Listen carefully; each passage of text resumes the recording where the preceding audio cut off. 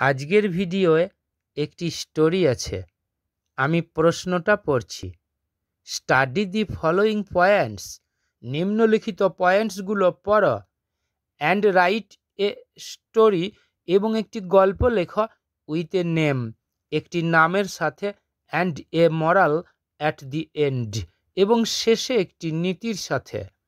এ sentry একজন প্রহরী of the palace প্রাসাদের অন ডিউটি কর্তব্যরত অবস্থায় ছিল। স্লেপ্ট অ্যান্ড ড্রিমড ঘুমিয়ে গিয়েছিল এবং স্বপ্ন দেখেছিল।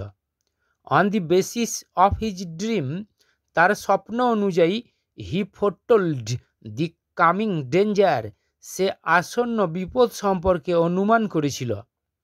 He informed the police about a thief সে রাজাকে একটি চোর সম্পর্কে জানিয়েছিল। কিং হিয়ার্ড রাজা শুনেছিল the story of catching him red handed চোরটাকে বা তাকে হাতে নাতে ধরার গল্পটা। পেইড হিজ স্যালারি তার বেতন দিয়ে দিয়েছিল। ডিসমিসড দি সেন্টারি সেন্টারিকে বা প্রহরীকে বরখাস্ত করেছিল। রিজন কারণ কি? এখন আমি স্টোরিটা পড়ছি। The night dream of a sentry একজন প্রহরীর রাত্রিকালীন স্বপ্ন অর অথবা দি সেন্টারি অ্যান্ড এ থিপ প্রহরী এবং একজন চোর। ওয়ান্স এক সময় এ ম্যান ওয়াজ অ্যাপয়েন্টেড একজন মানুষকে নিয়োগ করা হয়েছিল ইন এ কিংস প্যালেস একজন রাজার প্রাসাদে অ্যাজ এ সেন্ট্রি প্রহরী হিসাবে। He daily came at night সে প্রতিদিন রাত্রিতে আসত and guarded the palace of his master এবং তার প্রভুর প্রাসাদ পাহারা দিত। নিয়ারলি ডেলি প্রায় প্রতিদিন when all in king's palace যখন রাজার প্রাসাদের সবাই স্লেপ্ট ঘুমিয়ে পড়তো। দেন তখন দি সেন্ট্রি অলসো স্লেপ্ট ওই প্রহরীটাও ঘুমাতো নট গার্ডিং দি প্যালেস প্রাসাদটাকে পাহারা না দিয়ে। দাস এইভাবে হি বিগ্যান টু ডিসরিগার্ড সে উপেক্ষা করতে শুরু করেছিল his duty of watching the palace প্রাসাদটাকে পাহারা দেওয়ার কর্তব্যটাকে।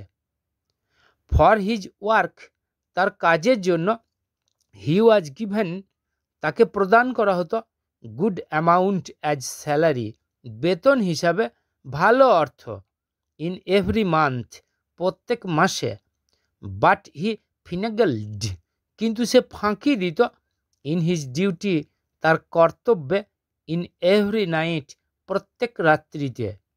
ওয়ান ডে একদিন হোয়েল হি ওয়াজ স্লিপিং যখন সে ঘুমাচ্ছিল ডিউরিং হিজ ডিউটি তার কর্তব্যের সময় হি বিগ্যান টু ড্রিম সে স্বপ্ন দেখতে শুরু করেছিল।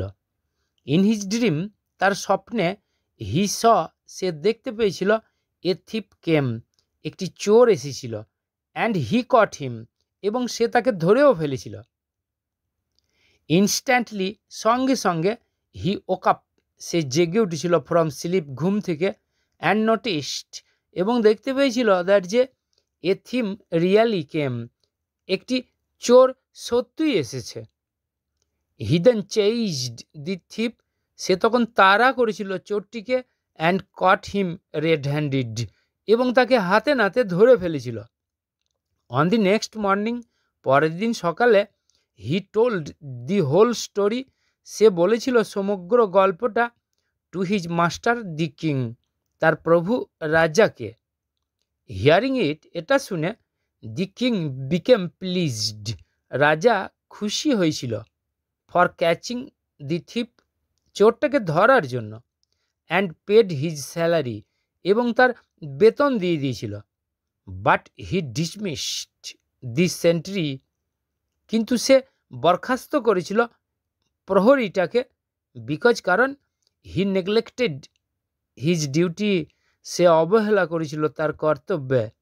মরাল এভরিবডি শুড ওবে প্রত্যেকেরই উচিত মান্য করা অন ডিউটি নিজের কর্তব্যকে।